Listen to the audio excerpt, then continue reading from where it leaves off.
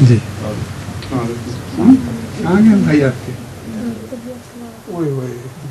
کس چیز کی بھی خراب طبیعت خراب ہو گئی بڑے چھوٹے اور اس کے تینوں کی ہو گئی خراب ایک دم ایک یہاں چھوٹا ایک یہاں بڑا اور ایک سب سے بڑا और एक सबसे बड़ा एक अच्छा है दूसरा एक ऐसा दो खराब जो अच्छे हैं वो ख्याल रखते हैं बाकी का हाँ? तो आपकी तबीयत कैसी है उसमें मैं बेहतर हूँ अलहमदिल्ला वैसे ही फिर आप ना आ सकें ठीक है माशाल्लाह alright I am almost on time just begin now Today, Huzur, Zubair is supposed to start today.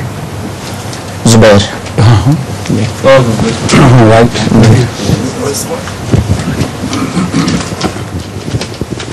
সালাম আলাইকুম জি ওয়ালাইকুম আসসালাম। এই প্রশ্নটা ঢাকা থেকে এসেছে। নুসরত বেগম সাহেবা উনি পাঠিয়েছেন। গত জুম্মার খুদ্া থেকে উনি বলছেন গত জুম্মার খুদ্া থেকে বুঝলাম যে মানবাঙ্গে বৃদ্ধি এবং ক্ষয় পূর্ব থেকে তথ্যের আকারে জিন্সে সংরক্ষিত থাকে। প্রশ্ন হলো মারাত্মক রোগ এবং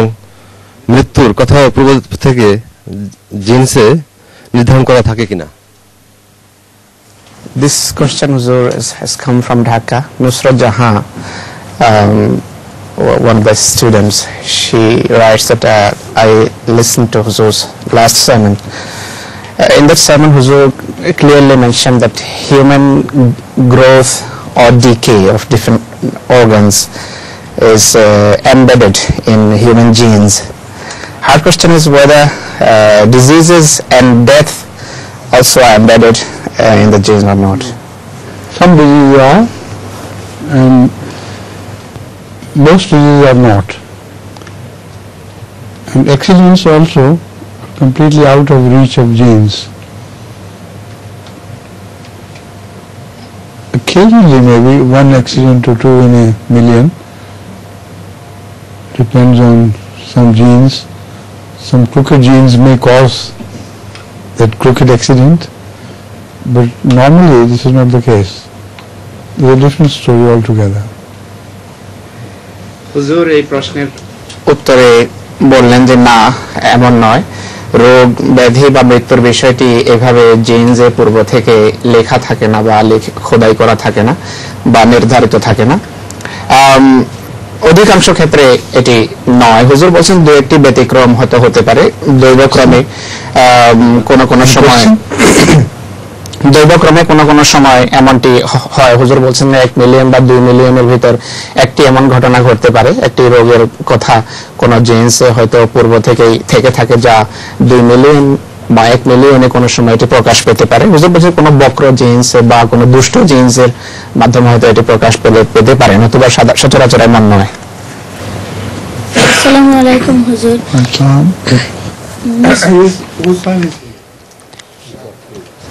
মসিমা ছোটদের মাঝে কে পয়লা বায়াত করছিলেন? মসিমা আলাইসাল্লামের হাতে। Among the boys, uh, who first of all accepted Hazrat Masih Maud? Uh, that is his question.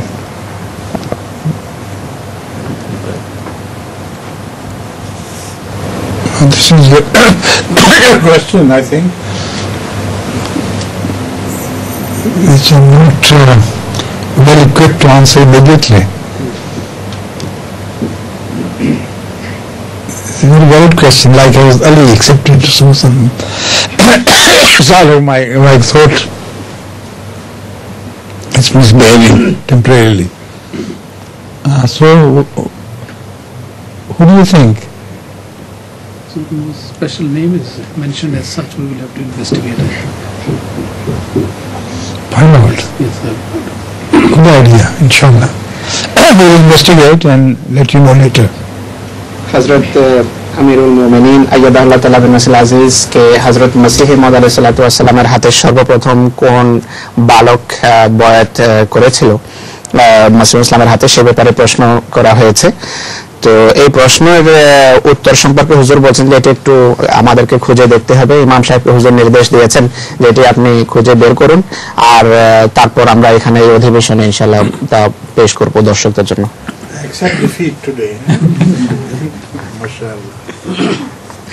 হুজুর হুজুর আমার প্রশ্ন হলো যে মাসে মাসিক বেতনের পর বসেদের অংশটা বের করার পর কোনো যদি সম্পত্তি বানায় তাতে কি আবার অংশটা দিতে হবে um, when uh, eh, one any member or any Ahmadi after paying his uh, his sai wasiyat, he saves some money every month and he makes a property out of that. The question is whether he will have to pay his sai wasiyat at the end of the day from that property again or not. You will. Hazrat uh, Aqdas Sayyidullah Ta'ala But he has a choice of paying the one tenth of the property value during his lifetime. Then that property will not be given to the one tenth of the property will not be given to Jamaat after the death. So it all depends. The person who is the Musi can continue holding that property without paying any income out of that. So then after the death, one tenth of the total value of the property will be taken. হজরত আকদাস আয়াদুল্লাহ তাআলা বিন আজিজকে প্রশ্ন করা হয়েছে যে কোনো আহমদি ওসিয়তকারী তার জীবদ্দশায় যদি তার মাসিক আয় থেকে রীতিমতো দশ ভাগের এক ভাগ ওসিয়ত হিসাবে বা যাই তিনি প্রতিশ্রুতি দিয়ে থাকেন সেই হিসাবে যে ওসিয়ত আদায় করেন, ওসিয়ত আদায়ের পর যে অঙ্ক তিনি ব্যাংকে জমা করেন, সেই টাকা দিয়ে পরবর্তীতে তিনি একটি সম্পত্তি যদি ক্রয় করেন, সেই সম্পত্তির উপর তাকে পুনরায় ওসিয়তের অংশ দিতে হবে কিনা। হজরত আকদাস সৈয়দ আল্লাহ আজিজ বলছেন যে হা দিতে হবে, অবশ্যই দিতে হবে। কিন্তু সেই ব্যক্তি, সেই সম্পত্তি নিজের মৃত্যু পর্যন্ত নিজের অধীনে নিজের হাতে রাখতে পারে এবং মৃত্যুর পর তা আদায় করতে পারে। এবং মৃত্যু পর্যন্ত তার কোনো অংশ আদায়ের প্রয়োজন নেই। তা থেকে যদি সে তার উপর, তাতে তাতে বসবাস করে বা তা নিজের হাতে রাখে, মৃত্যুর পর সেই অংশ থেকে তাকে অবশ্যই ওসিয়তের অংশ বের করতে হবে। আসসালামাইকুম হুজুর Islam, এই প্রশ্নটি আমেরিকা থেকে পাঠানো হয়েছে প্রশ্ন হলো ইলম এবং ইরফানের মধ্যে পার্থক্য কি Uh, this question is being sent from America, Huzur. Um, I mean, New York. S- the question is, Huzur, what is the difference between ilm and irfan?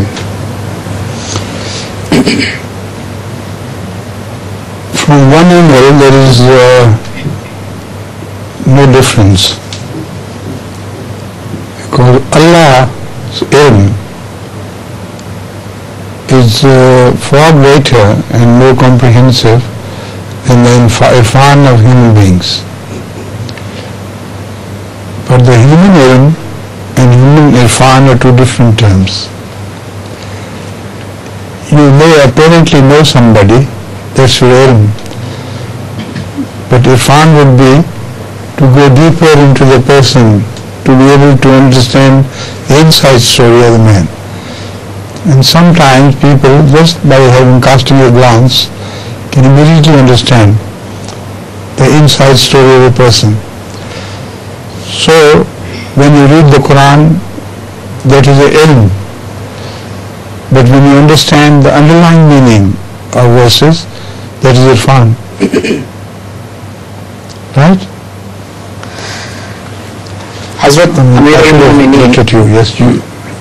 Best. হজরত আমিরুল মোমিনিন আইয়াদাহুল্লাহ তাআলা বিন নাসিল আজিজকে প্রশ্ন করা হয়েছে যে হুজুর ইলম এবং ইরফানের ভিতর পার্থক্য কি? হুজুর বলেন যে এক দিক থেকে তো এই দুটোর ভিতর কোনো পার্থক্য নেই। কিন্তু হুজুর আল্লাহর জ্ঞানের কথা বলছেন যে আল্লাহ তাআলার জ্ঞানের যতটুকু সম্পর্ক আছে আল্লাহর জ্ঞানের দিক থেকে এলেম এবং ইরফান আল্লাহর জন্য একই বিষয়। কিন্তু আল্লাহর এলেম আল্লাহ তালার জ্ঞান মানুষের ইরফান থেকে অনেক বড় হজরত আব্বাস বলছেন। কিন্তু মানুষের যতটুকু সম্পর্ক আছে, মানুষের জন্য এলেম এবং ইরফান এই দুটো শব্দের অর্থ ভিন্ন ভিন্ন হবে। যেমন আপনি কোনো বস্তুকে জানেন, সেটি আপনার এলেম, সেটি আপনার জ্ঞান। কিন্তু কোন বস্তুর গভীরে ভিতরকার নিগুড়, অন্তর্নিহিত তত্ত্ব এবং অর্থকে বোঝাকে বলা হয় এরফান। যেমন আপনি কোনো ব্যক্তিকে দেখলেন দ্যাট সে ব্যক্তি সম্পর্কে আপনার জ্ঞান। কিন্তু সেই ব্যক্তি সম্পর্কে তার অভ্যন্তরীণ অবস্থা, তার ভিতরকার চিত্র বোঝা, অনুধাবন করা, সেটিকে বলা হয় এরফান বা তত্ত্বজ্ঞান। হুজুর বলছেন যেমন কোরআনে করিম আপনারা পড়েন, শুধু পড়াটা হলো কোরআনে করিমের এলম বা জ্ঞান। কিন্তু কোরআনে করিমের অর্থ, অভ্যন্তরীণ অন্তর্নিহিত মর্ম, তথ্য, তফসির, অর্থ বোঝা, এটিকে বলা হয় Irfan Have you ever heard of Allah's attributes? To be one of Allah's attributes as Arif? No. Going to say Abdul Arif. So that is the perfection of the Holy Quran. In its uh, choices of the words, it's a perfect book. It doesn't call Allah Arif. But when we, it can, when, what we can call human beings Arif Billah. Although it's a great uh, exaggeration, nobody is Arif Billah. In the true deeper sense, to somewhat know Allah better than the others we would entitle you to be called Arif Billah. হুজুর এসি থাকে সম্বোধন করে বললেন যে তুমি কি কখনো আল্লাহ তালার নাম আরেফ শুনেছো আল্লাহ তালাকে কেউ আরেফ হিসাবে ডাকতে বা কারও নাম এমনকি দেখেছ যে আব্দুল আরেফ? তো এই শব্দ আল্লাহ তালার জন্য ব্যবহার হয় না। অর্থাৎ হুজুর বলছেন যে এটি কোরআনে করিমের পারফেকশন বা কোরআনে করিম যে একটা কামেল বই, সেই ঐশী বইয়ের ঐশী গুণের দিকে ইশারা। তো আল্লাহ তালার জন্য আরেফ শব্দ কোথাও ব্যবহার হয় না কিন্তু অর্থাৎ আল্লাহ তালার জন্য এলম শব্দই খোদা তালার সত্যিকারের জ্ঞান এবং সত্যিকারের যে জ্ঞানের গভীরতা সেটি প্রকাশ করে কিন্তু মানুষের জন্য আরেফ বিল্লাহ শব্দ যখন ব্যবহার হয় তখন হুজুর বলছেন যে যদিও মানুষের জন্য এই শব্দ ব্যবহার করা একটু একটু বাড়াবাড়ি কিন্তু তা সত্ত্বেও মানুষের জন্য যখন এটি ব্যবহার হয় তার অর্থ হলো সে ব্যক্তি আল্লাহ তালা সম্পর্কে কিছুটা জ্ঞান রাখে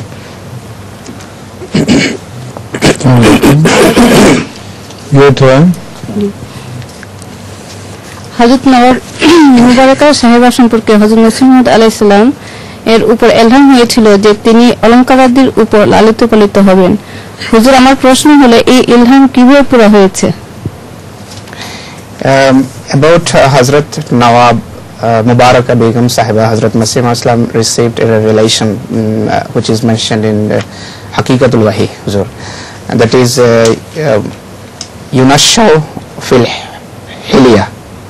Uh, Tunashaw, I don't know. Is it? Tunashaw fil hilya? Tunashaw fil Hilya. So, the translation is, uh, uh, as I did it, that she will be brought up in uh, ornaments. I don't know whether it is right or wrong.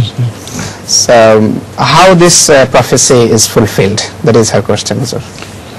She was married to Hazrat Nawab Muhammad Ali Khan Sahib, who was uh, being a Nawab and not being a spendthrift, was very rich. and uh, it was because of that marriage that she was given so many gold orn- ornaments that she was like Tanashar of Hiliyate. She was as if she was being raised in golden ornaments. Moreover, there is one other thing about her to be told is that in those days, in that Riyasat Kapurthala, Riyasat uh, Malirkotla, state of Malirkotla, the girls, uh, wives, etc., of a deceased husband could not inherit. And Hazrat Nawab Sahib did a very clever thing of raising her haq to so much. It was a huge amount for that standard. Amazing. And he paid that haq he could pay that haq in his lifetime. And he did so. See, so she was really raised in area. হজরত মসিহ মাউদ আলাহিসাল্লামের উপর তার যে প্রতিশ্রুত ঐশী কন্যা হজরত নওয়াব মুবারকা বেগম সাহেবা সম্পর্কে এলহাম হয়েছিল যে তিনি স্বর্ণ অলঙ্কারাদির ভিতর লালিত পালিত হবেন তুনাশা ফিল হেলিয়াতে তো প্রশ্ন ছিল যে এই ভবিষ্যৎবাণী কীভাবে পুরা হয়েছে হুজুর বলছেন যে হজরত নবাব মোবারক বেগম সাহেবের বিয়ে হয়েছিল জনাব নবাব মোহাম্মদ আলী খান সাহেবের সাথে, যিনি অত্যন্ত ধনবান এক ব্যক্তিত্ব ছিলেন। আর এই বিয়ের ফলে অজস্র স্বর্ণ অলঙ্কার তার হাতে আসে এবং প্র্যাকটিক্যালি বা আক্ষরিকভাবে তিনি এই স্বর্ণ অলংকারের ভিতরে আসলে লালিত পালিত হয়েছেন। হুজুর বলছেন তখনকার দিনে মালির কোটলা শব্দ যে একটা স্টেট ছিল, সেই স্টেটের রীতি ছিল যে স্ত্রীরা তাদের স্বামীর উত্তরাধিকারী হতেন না, উত্তরাধিকারিণী হতেন না। কিন্তু হজরত নওয়াব সাহেব তার স্ত্রীকে হক মেহের হিসাবে এত বেশি ধন সম্পদ দিয়েছেন যে যা তিনি তার নিজের জীবদশাতে তাকে আদায় করেছেন। এবং এর ফলে আক্ষরিকভাবে এটি পুরা হয়েছে এবং স্বর্ণ অলঙ্কারের ভিতরে তিনি লালিত পালিত হয়েছেন।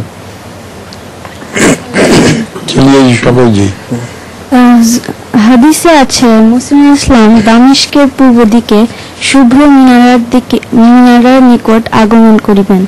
এর তাৎপর্য কি? Uh, her question is based on the hadith So she wants to know Huzur, what is the interpretation of this hadith. You see, when this prophecy was made, according to my investigation, there was no such manara existing in Damascus. So that was uh, a prophecy which should not have been taken literally. Moreover, the manara which is described is of a nature which does not exist anywhere in Damascus even now. I mean, even much after the prophecy. It was said that uh, he would uh, descend upon a manara, which would happen to be on the eastern side of the Damascus. It would have no staircase. So, the Messiah would descend putting his two hands on angels' shoulders and they would softly land him on that manara. But poor man would not be able to go down because he came from fourth heaven all right. But perhaps the angels were in a hurry so they would leave him deposited on the manara so the mullah would go and lift his um, ladder. You know, like ordinary ladders, they will put a ladder and through that ladder he will come down. Now this all shows that this is a metaphorical expression. You understand? It's impossible for that minara which is uh, described to exist. Nobody has ever built such a manara.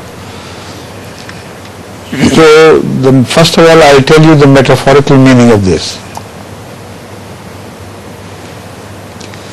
Manara is generally white and it's tall. So from Manara you can spread your message of whiteness, that is your purity, to long distances. That is one meaning. And the second is that you are awaiting Messiah's descent, but he will come down but not to you until you put the ladders of your hearts to accept him, to greet him with. And only those will be visited by Messiah who have applied their ladders of their hearts, the willingness to welcome him, so he would descend to their courtyards of hearts. so this is the true meaning of this hadith in general terms. Another thing, why Sharqiyya Damashq?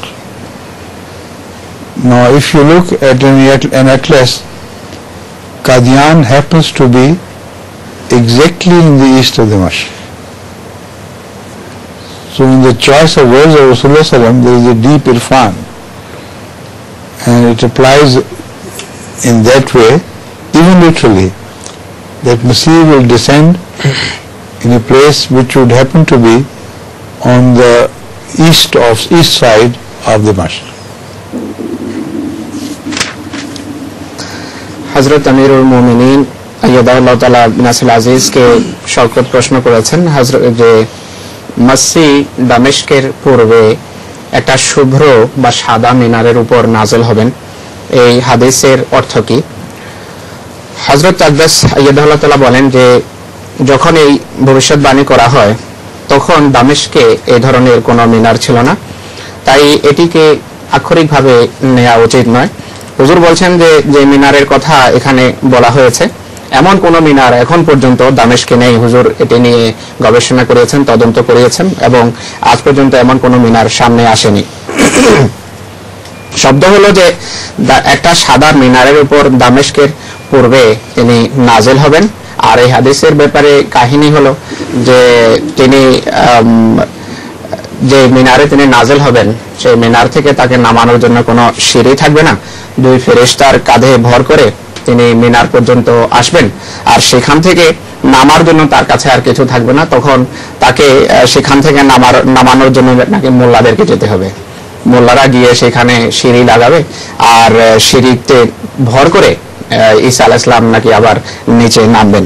হুজুর বলছেন, তাই এই কথাগুলোকে কোনোভাবে আক্ষরিকভাবে নেওয়া ঠিক নয়। আক্ষরিকভাবে নিলে এটি হাস্যস্কর ব্যাপার হয়ে যাবে।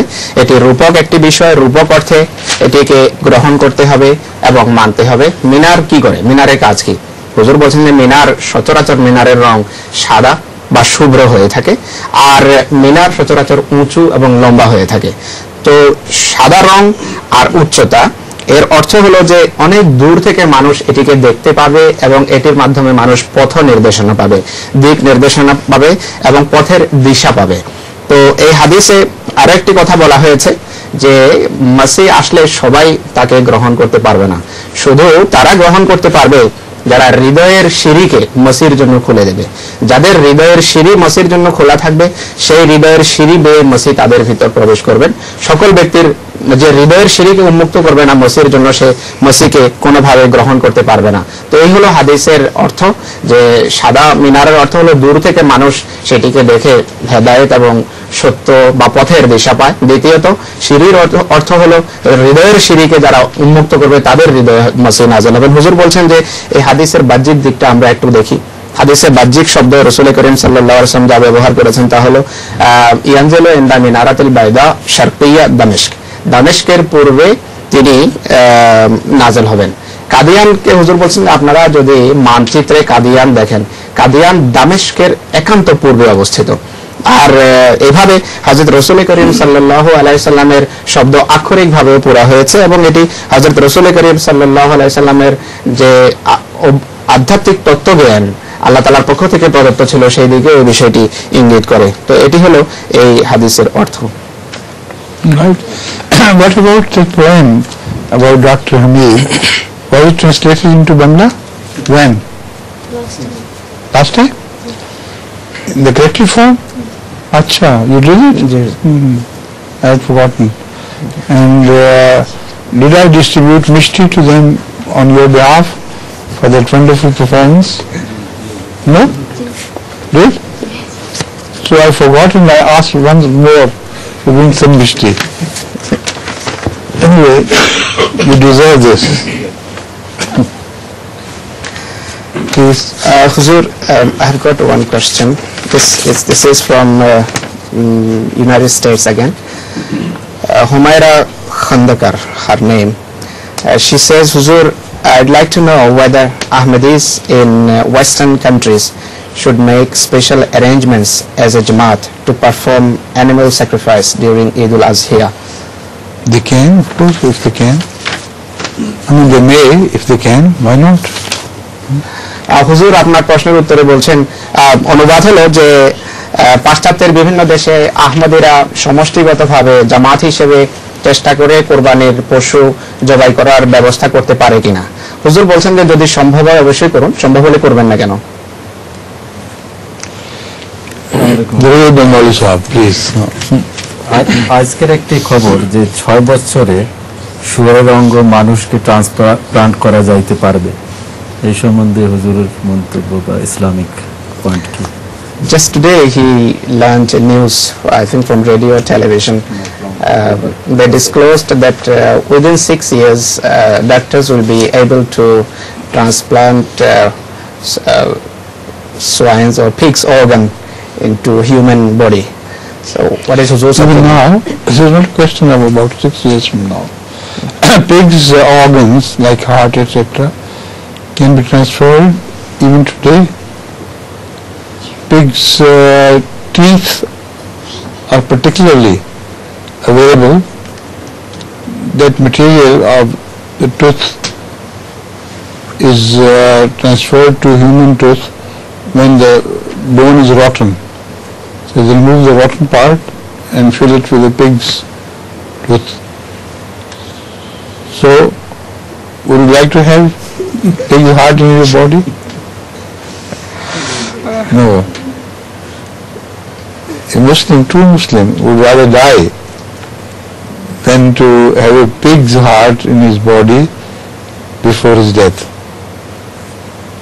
Hmm?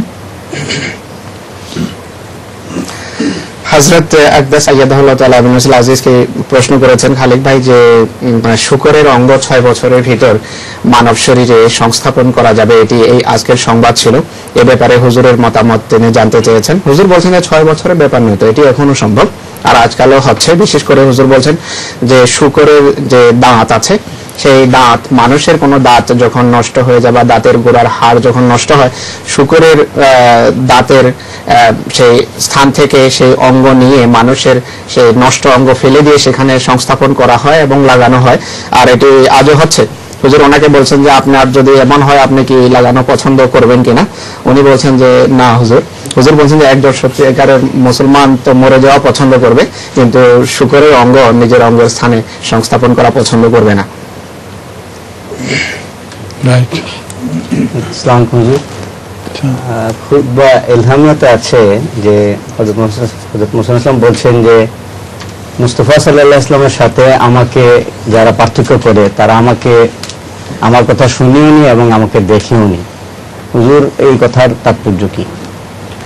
uh, Khutbah al-Hamiyah, Hazrat Masih Maud as he delivered, um, one of, of his statements was, Man farraka baini wa baina Mustafa, baina al-Mustafa, fama arafani wa ma ra'a. That is, uh, anybody who differentiate, uh, make difference between me and uh, Mustafa sallallahu alaihi wasallam, he did not recognize me and uh, Oma Ra'a and he didn't see me. So he wants to know the interpretation of this uh, The interpretation is that I have lost myself entirely into the person of Rasulullah sallallahu alaihi wasallam. So I do not exist separately from him. If still some people think I am a separate entity, they are sadly mistaken. They have not seen me, they don't recognize me. Like uh, in the in the mirror, you see an image.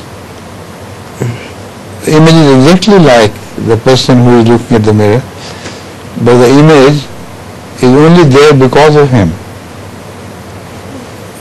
You can't love the image just by itself unless you first love the person whose image is being reflected in the in the mirror. So that was the state of Hazrat Maud Islam, which was uh, expressed in this beautiful couplet. Not couplet, but in Khutbah al-Hamiyah, yes. হজরত আকদাস আয়াদাহুল্লাহ তাআলা বিন আসল আজিজের সামনে খুতবা এলহামিয়ার একটা প্রসিদ্ধ প্রসিদ্ধ বাক্য হজরত মাসিমা ইসলামের পেশ করা হয়েছে বাক্যটি ছিল যে ব্যক্তি আমার এবং মুস্তফা সাল্লাহ আলহি ওয়াসাল্লামের ভিতর পার্থক্য করে সে আমাকে চিনেও নি আর দেখেও নি। হুজুর কে অনুরোধ করা হয়েছে যে বাক্যের একটু ব্যাখ্যা পেশ করুন। হুজুর বলছেন যে ব্যাখ্যা অত্যন্ত স্পষ্ট। হজরত মসিহে মৌদ আলাহিসাল্লাম বলেছেন যে তিনি হজরত মোহাম্মদ সাল্লাহ আলহি ওয়াসাল্লামের সত্তাতে পুরোপুরি নিবেদিত এবং তার সত্তার জন্য হজরত মোহাম্মদ সাল্লাহ ইসলামের পবিত্র সত্তার জন্য তিনি আত্মবিসর্জন দিয়েছেন, নিজের অস্তিত্বকে তিনি বিলোপ করেছেন। তিনি মাসিম ইসলাম বুঝ- বোঝাচ্ছেন যে আমি হজরত মোহাম্মদ মুস্তফা সাল্লাহ আলাইসাল্লাম থেকে পৃথক কিছু নই, আলাদা কিছু নই, বিচ্ছিন্ন কিছু নই আমি মোহাম্মদ সাল্লাহ আলাইসাল্লামেরই অঙ্গ, অংশ, তারই। আর যে ব্যক্তি আমাকে মোহাম্মদ সাল্লাহ ইসলাম থেকে পৃথক মনে করে, সে ভুল করছে, সে আমাকে চিনেনি, সে আমাকে বোঝেনি, সে আমাকে দেখেনি আমাকে জানেও না। হুজুর বলছেন যেমন আয়না দেখুন, আয়নাতে যখন কোনো ব্যক্তি আয়নার সামনে দাঁড়ায়, কোনো চেহারা দেখে, তখন সে অবিকল সেই চেহারাই দেখে যে ব্যক্তি আয়নার সামনে দাঁড়ায়। অর্থাৎ ভিন্ন কোনো ব্যক্তির চেহারা নয়। যে দাঁড়াচ্ছে, সে নিজের নিজের চেহারাই তাতে দেখছে। তার উপস্থিতির কারণেই আয়নাতে একটা ছবি দেখা যাচ্ছে। আর উপস্থিতি, তার নিজের উপস্থিতির কারণে আয়নার ছবিকে সে প্রথম দৃষ্টিতে হয়তো পছন্দ করে, কিন্তু তার আসল পছন্দ আয়নার যে ছবি দেখা যায় সেই ছবি নয়। সেই ব্যক্তি আসল যে ব্যক্তি বা আসল যে ব্যক্তিত্ব সেই ব্যক্তিত্বের সাথেই তার ভালোবাসা থাকে। তো হুজুর বলছেন যে হজরত মাসিম ইসলাম এই কথাই বোঝাচ্ছেন যে আমি হজরত মোহাম্মদ রসুল্লাহ সাল্লাহ সাল্লামের সত্তাতেই আত্মবিস আত্মবিসর্জন দিয়েছি এবং বিলীন হয়েছি। আমি তারই আমি তার সত্তা থেকে মোটেই বিন্দুমাত্র বিচ্ছিন্ন এবং পৃথক কিছু নই। আসসালামু আলাইকুম। হুজুর আমার প্রশ্ন হলো যে কোরআন মজিদের সূরা নম্বর সাতাশ আয়াত নম্বর পাঁচচল্লিশ। এখানে বলা হয়েছে যে তাকে বলা হলো তুমি এই মহলে প্রবেশ করো। তখন সে উহাকে ঢেউ খেলানো এক গভীর জলাশয় মনে করিল। এবং পদতা উন্মুক্ত করিয়া কাপড় উঠায় নিল।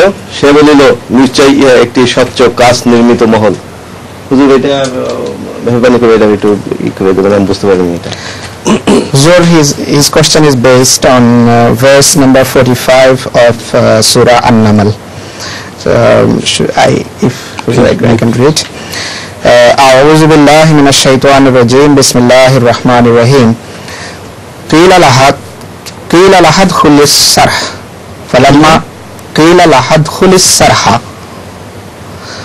فلما رأته حسبته لجة وكشفت عن ساقيها قال إنه قال إنه سرح ممرد من قوارير قالت رب إني ظلمت نفسي وأسلمت مع سليمان سليمان لله رب العالمين um, I read the trans Bengali translation as well তাকে বলা হলো তুমি এই মহলে প্রবেশ করো যখন সে উহা দেখলো তখন উহাকে সে ঢেউ খেলানো গভীর জলাশয় মনে করলো এবং সে নিজের পায়ের নালাদয় হতে কাপড় উঠিয়ে নিল সে বলল সোলেমান হজরত সোলেমান বলল যে, ইহা একটি স্বচ্ছ কাজ খচিত মহল।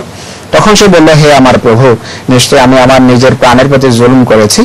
আমি সোলেমানের সহিত সমগ্র জগতের প্রতিপালক আল্লাহর নিকট আত্মসমর্পণ করলাম। হুজুর the question is it's very clear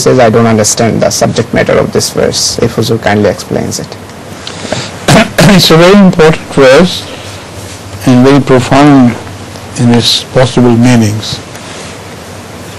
That uh, woman, Malka Saba, she was a great queen, but actually she didn't believe in in God, but uh, worshipped sun.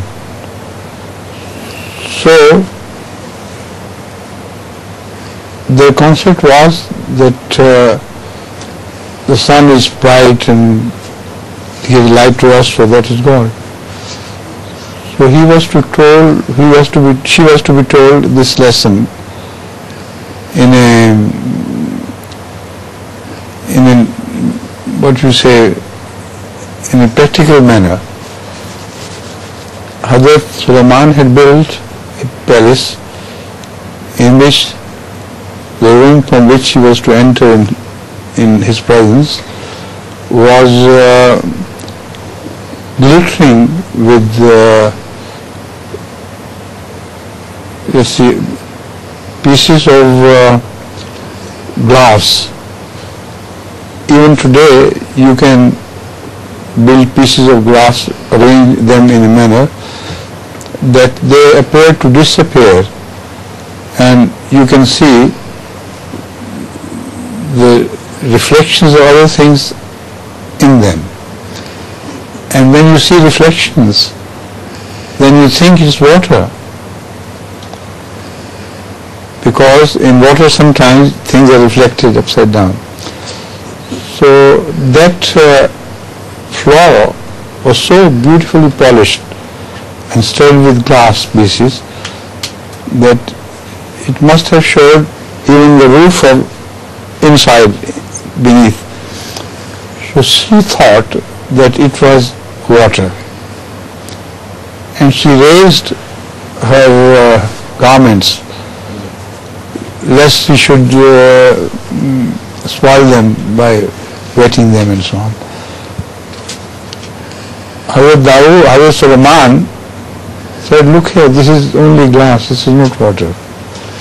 Now this, the lesson was that you see the sun and think that this is God. But sun is only reflecting the light of God, the beauty of God.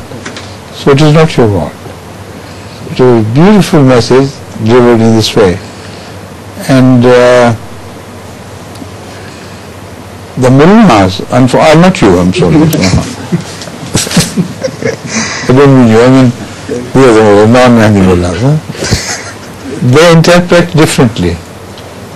They said that it was said about the Queen of Saba that uh, he was, she was the daughter of a jinn. And as such the stories have reached Hazrat Sulaiman, who appeared to have liked her because she was a beautiful queen, but he was hesitant whether she was worthy of her, his love or not. So he played this trick upon her. As she entered the hall, she raised her garments and gathered them. And he could see that she is not his daughter of jinn. He could see because it is said that the daughters of jinn have the feet all around. you see? If the feet are turned the other way around, then the heel will be seen first. So he looked at the feet and said, oh, oh, she's not the daughter of jinn. How stupid, eh? Imagine the wisdom of Solomon and the wisdom of these Maulvis, that this is how they interpret it. Right? হজরত আকদাস আয়াদাহুল্লাহ তালা বিনাসুল আজিজের সামনে সুরান আপনি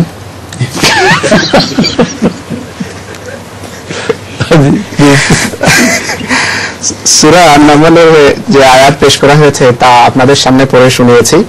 হুজুর বলছেন যে এই আয়াতটি অত্যন্ত গুরুত্বপূর্ণ এবং একটি অত্যন্ত গভীর, মর্ম এবং তত্ত্ববহ একটি আয়াত। আর এটা রানী সেবার সাথে সম্পর্কযুক্ত একটি আয়াত। আর হুজুর বলছেন যে এখানে আসলে রানীকে এটি বোঝানো হয়েছে যে রানীর ধর্ম ছিল যে তারা আল্লাহ তালার ইবাদত করতো না এবং সূর্যের ইবাদত তারা করত।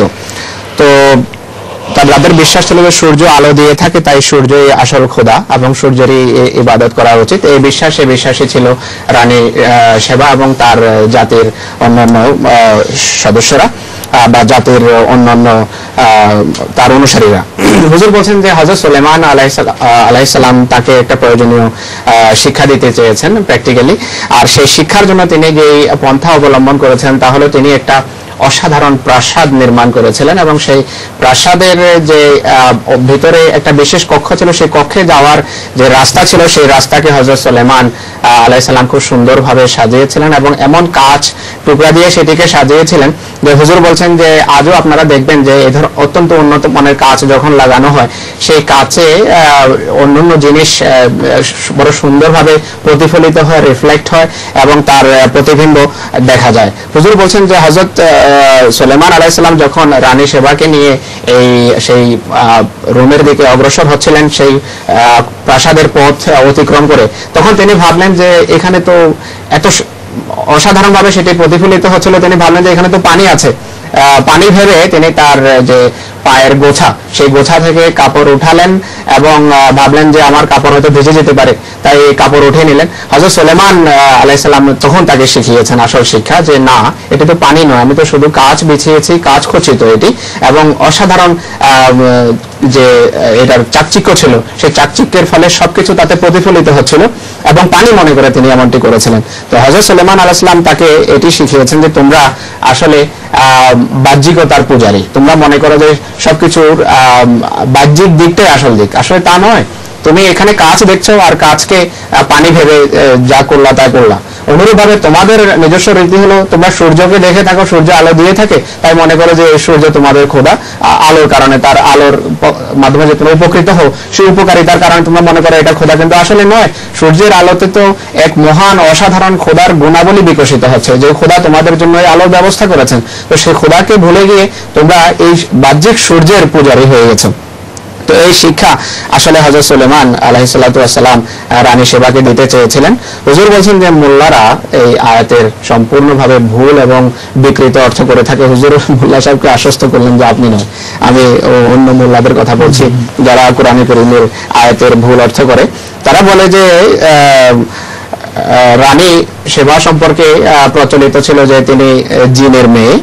আর অসাধারণ সুন্দরীও ছিলেন। তো হজরত সুলেমান আলাহ ইসলাম তার লেপসাকে কোনোভাবে তিনি গোপন করতে পারছিলেন না। তো এটা নিশ্চিত হওয়ার জন্য যে তিনি জিন কিনা তিনি নাকি প্রাসাদের ব্যবস্থা করেছেন, প্রাসাদ নির্মাণ করেছেন সুন্দরভাবে, আর রানী সেবা তাতে আসলেন এবং তিনি সেখানে যখন তার পায়ের গোছা থেকে কাপড় উঠালেন, তখন তিনি নিশ্চিত হলেন যে, না, ইনি তো জিনের মেয়ে নয় মানুষের মেয়ে, আমার প্রাসাদে এসেছে। আর এটি এভাবে হলো যে জিন, যদি যিনি জিন হতেন, তাহলে তার পা উল্টো হতো। পায়ের আঙ্গুলের দিক থাকতো পিছনে, আর পায়ের গোড়ালির দিক থাকতো সামনের দিকে। কিন্তু রানী সেবা যখন কাপড় উঠালেন, তখন তিনি নিশ্চিত হলেন যে, না, ইনি তো মানুষ মনে হচ্ছে আমার কাছে। হুজুর বলছেন যে, এই ধরনের উল্টা পাল্টা কোরআন শরীফের তাফসির করে থাকে মোল্লারা।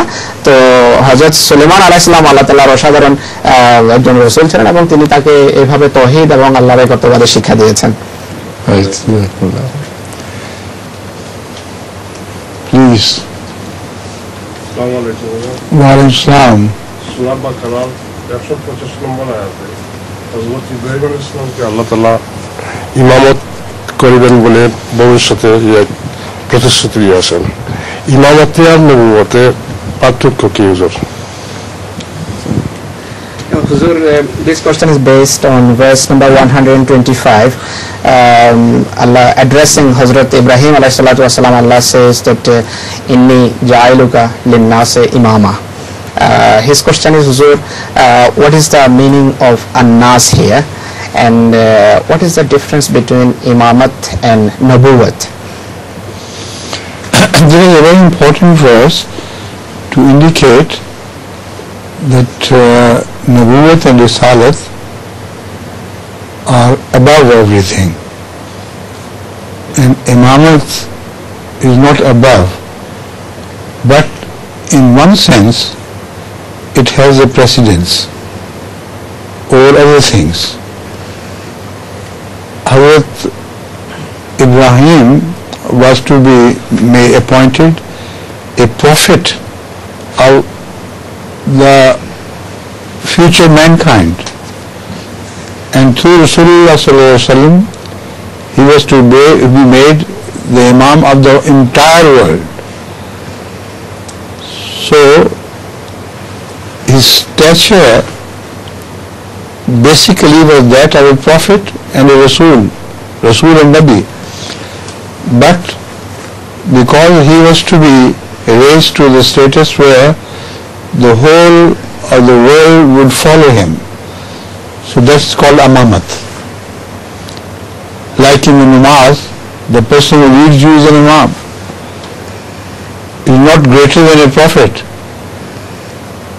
But if a person leads everybody in amamat, the whole world, he becomes becomes the Imam of the whole world.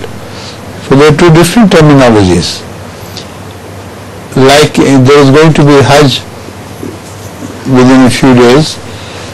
And uh, in that Hajj Ahmad would be practically leading the entire world. And Hazrat being a spiritual son of Hazrat mm, uh, spiritually actually little progeny of Hazrat Ibrahim So he would also give Hazrat Ibrahim the race status of leading the whole world. Because people from all world go to Khana Kaaba. So that is his imamat. What's the name? Imama? Imama? وجعلنا وجعلنا للمتقين اماما نہیں نہیں خانہ کعبہ کے متعلق ابراہیم کا مسلح پکڑو اس سے پہلے امام کو آیا ہوا ہے۔ مقام ابراہیم مسلح ہاں۔ امام بھی ہے۔ دیکھیں۔ سو میننگ یو انڈرسٹینڈ فلی دس از ایبسلوٹلی رانگ ٹو بلیو دیٹ ہی وڈ بی ریز ٹو اے ہائر اسٹیٹس آفٹر بینگ اے پروفٹ اینڈ رسول اینڈ نبی This is completely erroneous.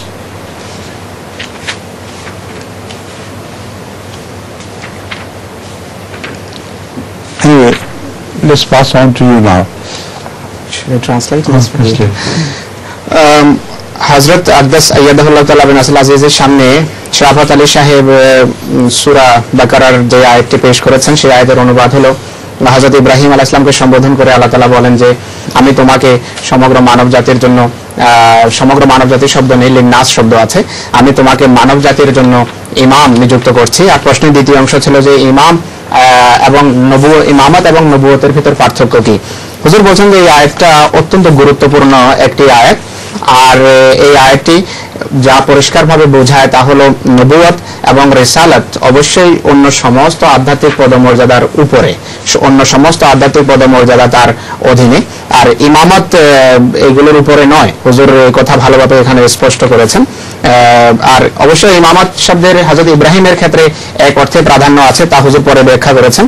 যে হজরত ইব্রাহিম আলাইসাল্লাতামকে আগামীতে হজরত মোহাম্মদ রসুল্লাহ সাল্লাহ আলহি ওয়াসাল্লামের মাধ্যমে আল্লাহ তালা মানব জাতির জন্য ইমাম বানানোর আসলে ইমাম নিযুক্ত করার একটা প্রতিশ্রুতি দিয়েছিলেন, যা রসুল করিম সাল্লাহ আলাইসাল্লামের মাধ্যমে হয়েছে। হজরত মোহাম্মদ সাল্লাহ সাল্লামের আগমনের পর তিনি সমগ্র মানব জাতির ইমাম নিযুক্ত হয়েছেন। হুজুর বলছেন যে এখানে ইমাম হওয়ার অর্থ নবী বা রসুল হওয়া নয়। নবী বা রসুল হওয়ার বিষয়টি অবশ্যই ইমামতের ঊর্ধ্বে এবং তার তুলনায় বড় পদমর্যাদা। কিন্তু তার ইমাম হওয়ার বিষয়টি হজরত মোহাম্মদ রসুল্লাহ সাল্লাহ সাল্লামের সাথে সম্পর্ক রাখে। মোহাম্মদ সাল্লাহ ইসলাম হজরত ইব্রাহিম আলাইসাল্লামের আধ্যাত্মিক সরাসরি প্রজন্ম হওয়ার কারণে মোহাম্মদ রসুল্লাহ সাল্লাহ ইসলামের সাথে হজরত ইব্রাহিমের সাথে সমস্ত উম্মতের এবং সমস্ত মানব জাতির একটা যোগসূত্র প্রতিষ্ঠিত হয়েছে। এই অর্থে তিনি সমস্ত মানব জাতির ইমাম হয়ে গেছেন মোহাম্মদ রসুল্লাহর মাধ্যমে। কিন্তু তার অর্থ এই নয় যে তার ইমামতের যে পদমর্যাদা সেটি নবুয়ত এবং রেসালতের পদমর্যাদার ঊর্ধ্বে। হুজুর বলছেন যে যেমন নামাজে এক ব্যক্তি আমাদের নেতৃত্ব দিয়ে থাকে, নামাজ পড়িয়ে থাকে, ইমামতি করে। তার অর্থ এই নয় যে সেই ব্যক্তি রসুল হয়ে গেছে। বা সেই ব্যক্তি রসুল থেকে বড় হয়ে গেছে। তাকে ইমামই বলা হয়। কিন্তু তার ইমামতি, যেহেতু সে সমস্ত মানুষের নেতৃত্ব দিয়ে থাকে নামাজে, তাই তাকে ইমাম বলা হয়। কোনো ইমাম যদি পৃথিবীর সমস্ত মানুষকে নামাজ পড়িয়ে থাকে, তাহলে তিনি পৃথিবীর সকল মানুষের ইমাম হবেন। তো হুজুর বলছেন আরেকটি কথা হুজুর অত্যন্ত স্পষ্ট করেছেন যে যেটা ইতিমধ্যে আমি স্পষ্ট করেছি কিছু মানুষের ধারণা আছে যে ইমামতি বা ইমামত যে পদমর্যাদা এটি কোনো কোনো অর্থে নবুয়তের তুলনায় বড়। কিছু ইসলামের কিছু দলের ভিতরে বিশ্বাস আছে। হুজুর বলছেন যে এটি সম্পূর্ণভাবে ভুল এবং ভিত্তিহীন নবুয়ত এবং রেসালত সকল পদমর্যাদার তুলনায় বড় এবং সমস্ত পদমর্যাদার ঊর্ধ্বে। Now, the verse, or uh, let me tell you, it's the, a prayer taught to us by Allah. ربنا هب لنا من ازواجنا وذرياتنا قرة اعين واجعلنا للمتقين اماما. Here the word imamat is used, which means that, oh God, Hablana min al-wajina wa dhurriyatina. Give us happiness, grant us happiness from our wives or partners. Wives when they pray, it means their husbands. huh? So Azwaj is applicable to both. So grant us happiness from our partners and our generations. وَجْعَلْنَا لِلْمُتَّقِينَ إِمَامًا and make us the imam for muttaqeen. Do they pray for Nabuwat? Have you ever thought of yourself becoming a Nabi when you pray? So evidently the word imam has a completely different connotation. হুজুর কোরআনে করিমের একটা প্রসিদ্ধ দোয়ার দিকে ইঙ্গিত করেন যে দোয়াতে মোমেনদেরকে শেখানো হয়েছে এভাবে দোয়া করতে যে রব্বানা হাবলানা মিন আজওয়াজিনা ওয়া যুররিয়াতিনা কুররাতা আয়ুনিন ওয়াজআলনা লিল মুত্তাকিনা ইমামা তো এখানে ইমামত শব্দ ব্যবহার করা হয়েছে, আর এই অনুবাদ হলো, রব্বানা হাবলানা মিনাজওয়াজনা ওয়া যুররিয়াতনা হে আমাদের প্রভু, আমাদের সাথী এবং সঙ্গীদের পক্ষ থেকে আমাদেরকে চোখের প্রশান্তি দান করো। আর আমাদের সঙ্গী এবং সাথী বলতে এখানে স্বামী যদি দোয়া করে, তাহলে স্ত্রীর জন্য দোয়া হবে যে, আমার স্ত্রীর পক্ষ থেকে আমি যেন হৃদয়ের প্রশান্তি লাভ করি। স্ত্রী যদি দোয়া করে, তাহলে সে তিনি স্বামীর জন্য দোয়া করবেন। স্বামীর পক্ষ থেকে হে আল্লাহ, আমাকে আমার হৃদয়ের প্রশান্তি দান করো। অনুরূপভাবে দোয়ার পরের অংশ হলো যে ওয়াজুরিয়াতেনা আমাদের সন্তান সন্ততির পক্ষ থেকে আমাদের হৃদয়ের প্রশান্তি দান করো। আর আয়াতের শেষের দিকটা হলো, হুজুর বলছেন যে যে, ওয়াজালনা লিল মুত্তাকিনা ইমামা। প্রত্যেক মোমেন এই দোয়া করে যে, হে আল্লাহ আমাদেরকে মোমেনদের ইমাম নিযুক্ত করো। হুজুর বলছেন যে আপনি কি এখানে নবুয়তের জন্য দোয়া করেন? যখন আপনি দোয়া করেন আপনি কি বলেন যে আল্লাহ আমাকে নবী বানাও? মোটেই নয়। এখানে ভিন্ন বিষয় বোঝানো হচ্ছে। তাই হুজুর বলছেন যে ইমামতের অর্থ মোটেই নবুয়ত নয় বরং এটি ভিন্ন একটা অর্থ রাখে। I, I was thinking of asking you, requesting you to sing a song. For a long time we have not sung. But the one round is over and the time is also over. So we'll do it, we'll postpone it to the next meeting inshallah. Right? So be ready for something and in the meantime I have also distributed that mishti which I promised you. That is why we're short of time. Oh, that's good.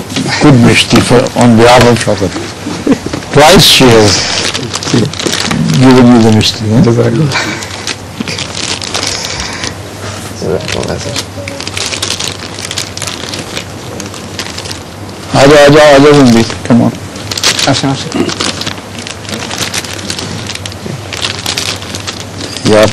بیٹی چپ کھا لیں آپ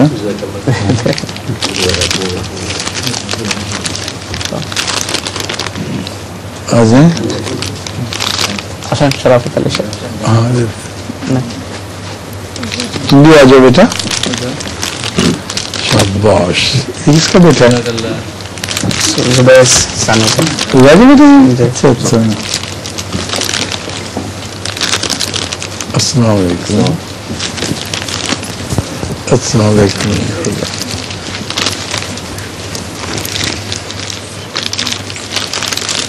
Shaukat being hostess, she'll get her share at the end.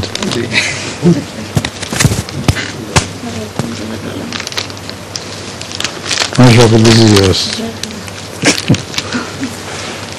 I've seen the feet, it's all right. Huh?